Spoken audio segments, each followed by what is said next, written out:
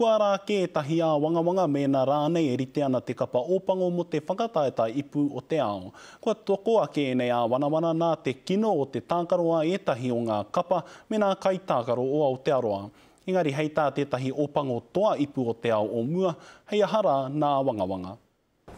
Ko ngā ringaringa e mau pū ana ki tēnei taonga, ēngari ko te āwangawanga o wētahi nā te ngoikore o te tākaro o wētahi o ngā tīma o Aotearoa i te whakataetae Super 15, ko ngā Ōpango o mua noa ka mau i te kapu William Webb Ellis.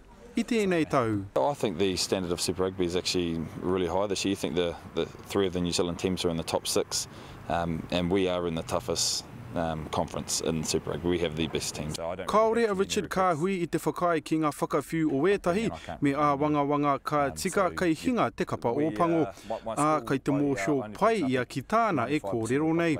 Koia tētahi i roto i te kapa i Wikitōria i te tau 2011. Ko tana whakahau tiro noa ki ngā kapa kei te eke ki te taumata.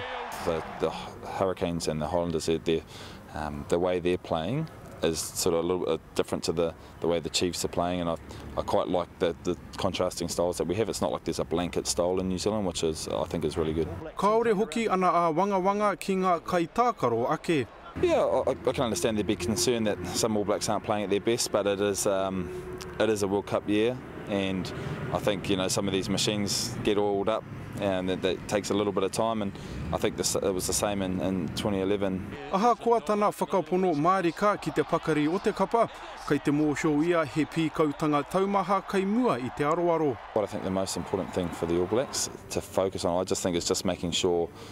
that their their player base you saw in in 2011 we went through four first fives. Ki te tutuki ka whai kāinga pea tēnei taonga ki Aotearoa mō ngā whā tau kei mua i te aroaro, Heta Gardner, Te Karere.